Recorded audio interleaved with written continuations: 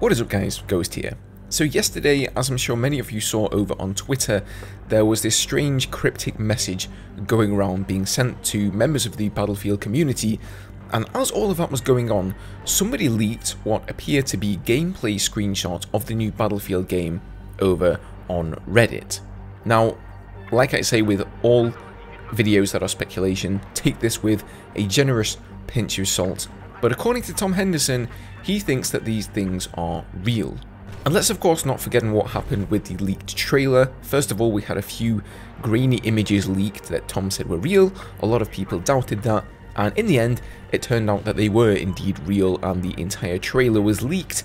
Most likely we're not going to actually see the trailer in its glorious perfect form, but uh, nevertheless, I think this gives a little bit of validity to what Tom is saying. Now the second disclaimer I kind of want to put in this video here is that if these gameplay images are real guys, just bear in mind that these are probably very very old, they're pre alpha tests, so they could be from early 2020, even 2019. I really wouldn't judge the game based on these images. Like, I know you guys are going to go and see them anyway if you're interested in them, so that's why I wanted to take a look at these, and especially on my channel, because as you guys know, I'm kind of a vehicle guy, and most of these images have vehicles in them. Okay, so this is the first image, and as you can see, we are driving around in a tank here. Now in the background, we have a map that looks very similar to Dawnbreaker, actually, and it's it's very, very red. I don't know why it's so red, but I wouldn't worry too much about that. I'm sure nothing in the game is going to end up being this red. Maybe it's that there's some sort of a warning siren going off, like a huge red light that's shining on the map. Who knows? But this tank we're seeing here seems to be an M1A5 Abrams tank, although it definitely has some strange modifications to it. It isn't completely one-to-one -to, -one to the real-life version of the tank, so again, could be pointing towards some near-futuristic stuff. But the real interesting thing here is the UI. Now once again, do bear in mind, it could be completely possible that somebody has captured a screenshot from some other game and they have then made their own UI and plastered it on top of that screenshot. So just stressing again that these could be completely fake. But let's just go through this UI and assuming that it is real, take a look at what we can see. So the UI in the bottom left looks quite minimalistic, a smallish map with the flags and the ticket count there, and then we've got, of course, your squad. A lot of people have pointed out that there are only four people in this squad, and again, I would say, you know, this is very, very early stuff. It could well be that that was just a placeholder for the squads that are going to be there. We may well be getting five-person squads. Down in the bottom right, we have what looks like the loadout for the tank. So the first shell there looks like some sort of an APF SDS shell that's basically armor piercing, and then some sort of a coaxial machine gun, followed by smoke, and then some sort of repair perk there, probably similar to like the maintenance perk that we get from Battlefield 3.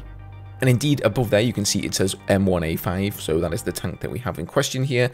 A very small little plus 100, so if that's going to be the indicator for how much armor you have left or how much health you have as a soldier, that is really, really small. I think that green bar is going to drain down there as you lose health as well as the number changing though.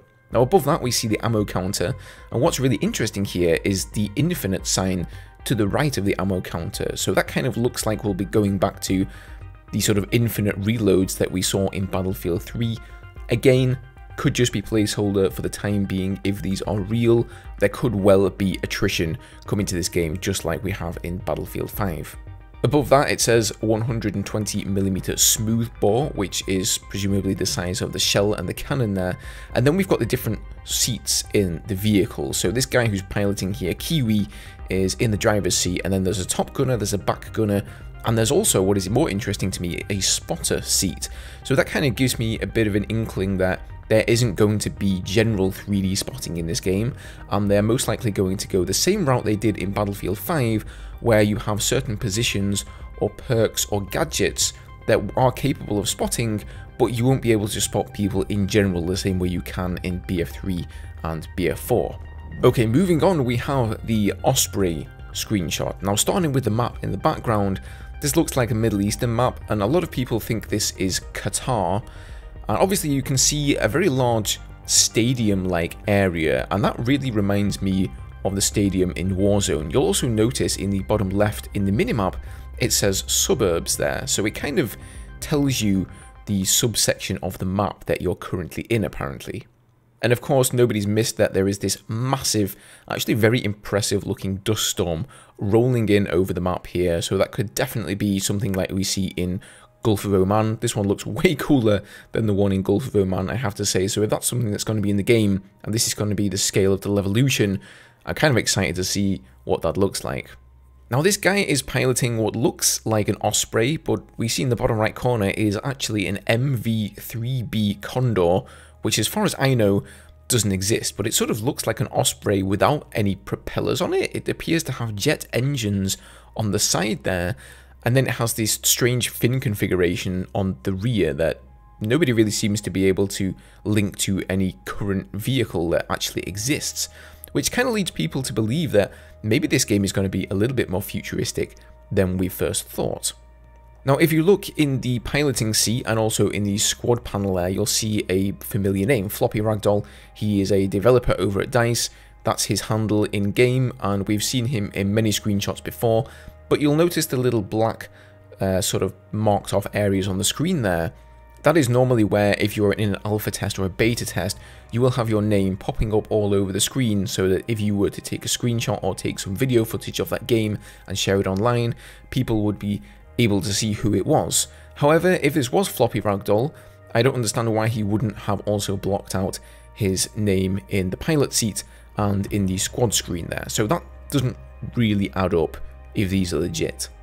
Now in the bottom right, we see what looks like rocket pods and flares. And let me be the first to say I am not really a massive fan of the way this UI looks. Hopefully this is all just placeholder stuff if it happens to be true, but I don't see why you would have that huge bar there with the flares and the rocket pods. Maybe it's because the health bar is on top of it, it always has to be there for that reason, but it looks a bit, let's say, mobile phony, like something that you could actually press with your finger and it would activate your rocket pods or your flares. Who knows guys, maybe this is screenshots from Battlefield Mobile. So over on the right side there, we see a couple of his squaddies down on the ground, and then we see the seats for the Osprey, and we've got the piloting seat, obviously, and then there's a top gunner, left gunner, right gunner, a passenger, and Burso, whatever that means. I've googled this, I'm not sure if this is just some strange placeholder name, or if it's actually some given role within the vehicle, but uh, if anyone knows what Burso means, let me know in the comments down below. So this is the third shot, and here we see actually a vehicle, but we're from the perspective of a soldier on the ground. And this guy seems to be mid-reload animation. Again, we appear to be on the same map. We can see that dust storm rolling in there in the background. And the vehicle here in question is the Apache attack helicopter. So if this is true, that means we're getting the Apache, which makes me very excited. So it appears that this guy is in the middle of a reload animation. Now down in the bottom right of the screen, we can see a loadout. There is a little sort of plus sign there. Looks to be some sort of a medic or possibly assault class. And what weapon this is, I honestly don't know. It could be something semi-futuristic. You can't really tell very much from the icon at all. If anyone else knows what this is, let me know down in the comments. In the second slot there, it appears that he has a revolver as his secondary, and then there's some other small looking gun there that it looks like a pistol, but it has infinite ammo, I wonder if that could be some sort of a spotting flare similar to what you get in Battlefield 5. Next to that is something else, which is just so low quality I can barely make out the imagery here. And then the last image there looks to me to be some sort of a C4 or possibly a mine of some description that you can place on the ground. Last up here, we have just an image of the map. This looks very reminiscent of Dawnbreaker. In fact, if this was the only leaked image, I would just straight up say somebody's captured an image of Dawnbreaker and they've messed around with it in Photoshop and this is just Dawnbreaker. But we've also seen these skyscrapers in some of the other shots there in the background. But yeah, apart from that, not really too much to see on this one. Now, as you'll notice from the images, we've got these Ospreys with the jet engines and you know other futuristic looking stuff. People knew that it was going to be set in the near future, but you'll also have seen on that strange encrypted message that I featured in my last video and I talked about at the start of this one, there was a date on the transmission of that video and it had the month and the day, but it had blocked out the year with four X's.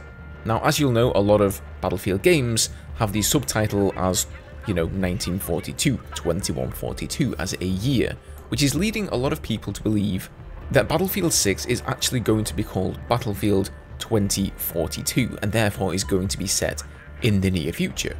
However, based on what most of us have heard so far, the rumour is that it's just simply going to be called Battlefield and it's going to be sort of a reboot of the series. What do you guys think? Battlefield 2042? It's definitely sounding a bit confusing. It's it's hard to say 2042 and not 2142 because I've been saying that for so many years now, so I don't know. I guess in a few days time on the 9th of June, we're all going to see the official trailer and we're going to find out just what is real and what isn't. So that's what I've sort of managed to ascertain from these images. Again, guys, again, these could be completely fake, and just bear in mind, you know, once again, if they are Battlefield 6 images, they could be very, very old. You know, I've seen a lot of people online, a lot of people over on Reddit and Twitter slandering the new Battlefield game already, saying that it just looks so bad, the UI is very unimpressive, just bear in mind, guys, that all this could be placeholder, okay? If there's one thing that DICE know how to do, and there is one part of the Battlefield franchise where I am 110% sure that DICE are not going to fail us on, that is how the game looks and the graphics, because they just always have amazing looking games, the soundscape is always on point. If there's an area of the next Battlefield game that I'm worried about, it's going to be the vehicle mechanics, the skill depth, the learning curve and those sorts of things, not the way that the game looks. I'm sure they're going to come up with an amazingly looking slick UI and the graphics of the game is going to look great as well. Anyway guys, as always let me know your thoughts down below, leave a like if you enjoyed the video, that helps out the channel, and I'll see you guys in the next one. Cheers.